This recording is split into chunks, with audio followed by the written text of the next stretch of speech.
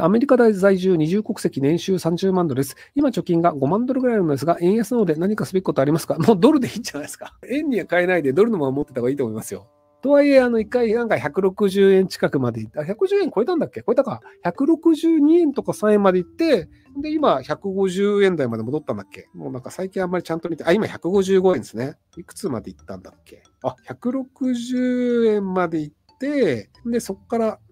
152円、3円まで戻して、で、今まだ156円ぐらい。とはいえ、その円安になる構造というのはあんまり変わってないので、これ結構僕昔から言ってたんですけど、多分15年前ぐらいから言ってると思うんですけど、日本が円安を止めるためには、日本の産業で作られるものを世界中の人が買うという状況にしない限りは、基本変わらないんですよ。もちろん、あの、出飲みみたいなことをして、1万円を0を2つ切って100円にしますみたいなやれば、それはあの、見かけ上は円高になるかもしれないですけど、構造上、日本円の価値が下がり続けるというのは、今のところ止まる根拠がないんですよね。もちろんそのアメリカがもっと悪くなるとか、ヨーロッパがもっと悪くなるとか、中国がもっと悪くなるとか、相対的なものによって日本が浮上する可能性もあるんですけど、残念ながら他の国は結構そのなんとかその経済を立て直す力があるんですけど、僕が日本を見てる限り、日本は経済を立て直す力がないんですよね。これはなんでないのかっていうと、うまくいってない産業を潰して、うまくいっている産業を育てるというのを長期的にはやらなきゃいけないんですよ。まあ、すごく普通の話ですよね。まあ、僕がしてるのって。例えばその、じゃあ、もうみんな馬車とか買わないから、バグとか作ってもしょうがないよね。馬の蔵とか作ってもしょうがないよね。じゃあもう馬の蔵とか作るのやめて、代わりにカバン作ろうぜ。これが、その、産業が変わっていくことによって、廃れていく産業は廃れていく。で、うまくいく産業に変化していくっていうのをやるんですけど、日本って未だにその、廃れていく産業を廃れさせないっていうのをやろうとするんですよね。ハンコ連盟みたいなのもありますけど、もうみんなハンコ使わない方がいいよねってなっても、なんとかしてハンコを残しましょうみたいなことやったりするんですよ。で、じゃあ会社が潰れるとかわいそうでしょだから、かわいそうな人を作るの良くないよね。というので、潰れるべき会社を残し続けるっていうのを割と日本全体やるんですよ。で、この構造っていうのは未だに変わってないので、新しい会社っていうのが、例えばじゃあ大企業が、東芝という会社が SD カードとかメモリーとかでめちゃめちゃうまくいきましたと。フラッシュメモリーとかでうまくいきましたと。ところがどっこい、原発部門とかの首が切れなかったりするんですよ。原発を切ったら、メモリーの会社としてうまくいくんだけど、原発の人たちの首が切れないから、結果としてメモリー部門を売っ払って、東芝が残るみたいな。アメリカとかだと、イラン部門をどんどん切り捨てて、儲かるところだけ残すんですけど、日本の場合って、儲かる部分を売っ払って、儲からないとこだけ残されるっていうのをやるんですよね。その考え方おかしくねっていうふうに言ってる人が少数派で、これが当たり前だと日本人思ってるし、それでいいと思ってるんですよ。例えばその、エクアドルとブラジルが確かウーバーに規制してるんだけど、まあそれでもウーバーやる人いるんですけど、日本ってその、ウーバーいないんですよね。民間の人で勝手に自分の車を乗ってお客さんを乗せるっていう。んで、じゃあそれ安いし便利じゃん。普通の人とかでも稼げるようになるからいいじゃんっていうのが、タクシー業界っていうのがそれなりに大きくて、で、そっちにじゃあタクシー業界議連みたいなのがあったりするので、じゃあウーバー使えなくしようぜっていうので、それがやっぱり当たり前になっちゃうんですよね、日本の場合って。タクシー業界も地域によってはタクシー全然足りないよねってところもあったりするんですけど、でもそこも、俺、うち車余ってるからそれ使おうかっていうのは、違法になっちゃうんですよ。で他の国だと、じゃあ余ってる車で金稼いで、観光客の人とかもすぐタクシー来るし、タクシーでも安くなるし、あ、便利だよね、この国って言うんですけど、日本の場合はなんかタクシーの台数が限られていて、めちゃめちゃタクシー呼んでも来ねえし、クレジットカードも使えないのが当たり前みたいなのが、それがおかしいよねっていうふうにならなくて、そういうもんだよねっていうのを受け入れるっていうのがあるので、新しい変化というのがどんどん遅れていくんですよね。まあ多分5年ぐらいしたら、ウーバーもそれなりに使われるようになると思うんですけど、その時はまた別の何かがこう、あの他の国で流行っていて、で、それがまた日本では規制されていてっていう、こう、ひたすらこう、いたちごっこの後半戦の後ろの方だけをずっと追っていくっていう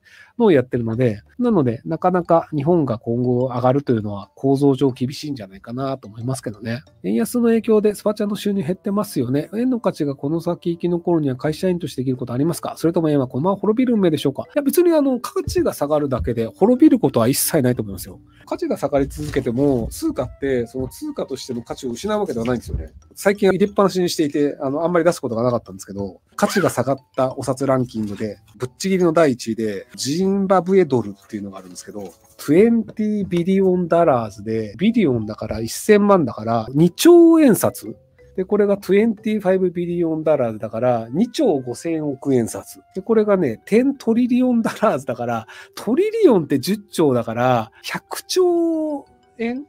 円じゃねえ、100兆ドル？っていう感じで、お札の数字っていくらでも増やせるんですよ。っていう感じで、こうなんかお札はどんどんこう丸を増やして流通させるっていうことができたりするので、なので円が別に1ドル200円なり、1ドルで500円なりっていうになったとしても、円としての価値、円としてはそれなりに流通し続けるんじゃないかなと思いますけど。ただまあ、円で持ち続けると円安になる可能性があるので、他の通貨で持ってた方が保管するのであれば安全なんじゃないかなと思いますけどね。いや、だいぶお金持ちですよ、僕。何兆ドルも持ってますからね。税収過去最高で分配とかも言ってますが、アベノミクスで円安低金利インフレを日銀誘導して、給料があって幸せになると結果類しない手取りはそれを増えないは、年金生活者物価と給付不縁和で、結果税金比率が上がり、税金分配できる官僚や与党や使い際の医療関係は不破円安で最高益の経団連、インフレで不動産業界、ボロ儲け、庶民を与党に投票して、税金に据えて生活基って予測できなかったでしょはい、できませんでした。なぜなら庶民もバカだったし、自民党の政治家がみんなバカだったわけではなく、本当に良かれと思ってアベノミクスをやってたんだと思うんですよね。アベノミクスは成功だったって今でも言ってる人って結構いるんですよ。円安誘導することによって輸出する企業が儲かるよねっていうのは何もしなくても儲かるから研究開発に投資をしないでだらだらと利益を享受してしまうよね。で、日銀が株買いまくって ETF 買いまくるおかげで株高になってしまうと頑張ってやらなかったとしてもその会社が買収されないよねっていう。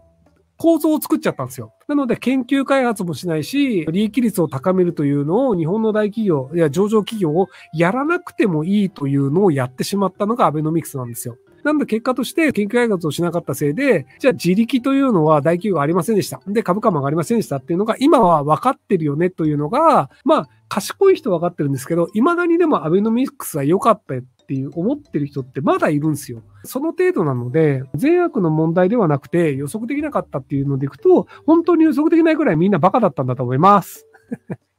いや、僕は分かってたけど、本当に分かんなかったんだと思うんだよね。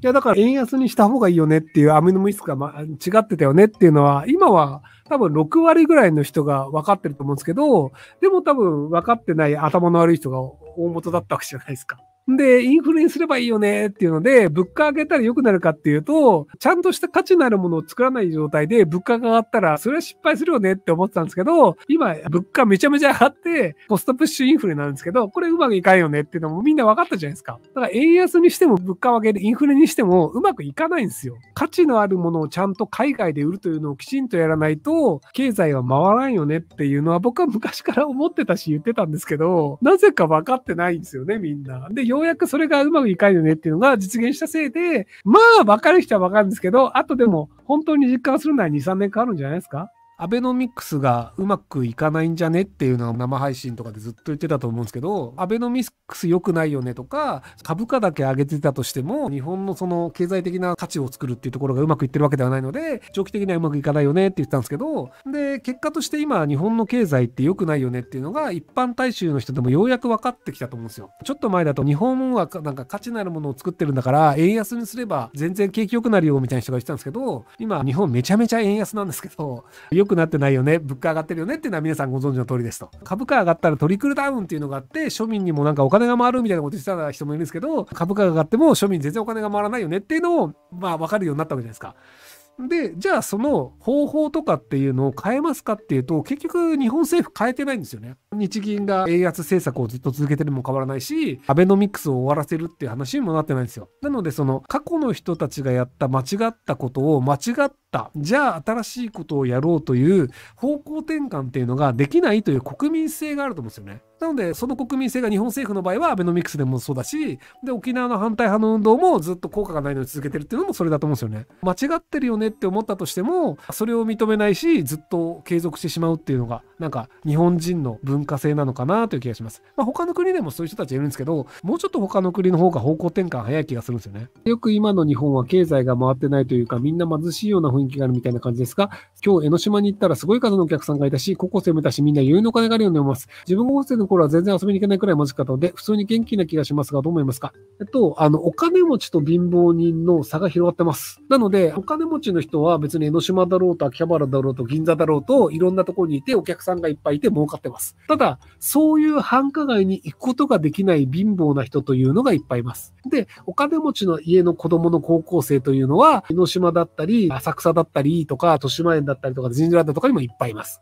なので、お金持ってる人たちがいろいろ目につくから、この国は豊かであるというのは実は間違いで、犯外はどの国行っても豊かな人が集まって、それなりに賑わってます。アフリカでもね。なので、貧乏な人がどれぐらい貧乏なのかっていうことで、その国の経済が回ってるかどうかっていうのを見るべきで、繁華街とかお金持ちを見て、その国の経済が回ってるかどうかを見るっていうのは間違いなんじゃないかなと思います。政治家の人が日本がうまくいってるというふうに思いがちなことって、政治家の人って周りは政治家だし、で、政治家に寄付するような人に会うんですよ。なので講演会だったりとかって、それなりに経営がうまくいってる人なんですよ。経営うまくいかなかったら政治家の支援なんかやる暇ないからね。自分の周りにいる人はそれなりに回ってるから、あ、日本はうまくいってるんだって思いがちなんですよ。なので、自分を支援する人以外の人に目を向けられるかどうかっていうの結構大事で、で、政治家を支援できるような人って、基本金持ちか暇な人なんですよ。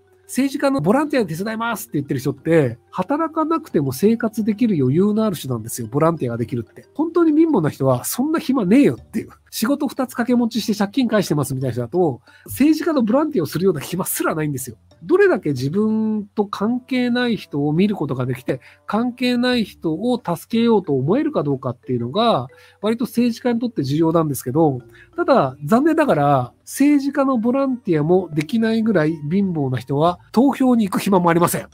なので、本当に貧しくて忙しくて大変な人が、いくら幸せになるような政策をやったとしても、残念ながら投票には来てくれません。なので、貧乏な人はより貧乏なままずっときついままっていうのが日本の構造なんじゃないかなと思います。ご視聴ありがとうございます。今回の動画はこちらからの気に入りになります。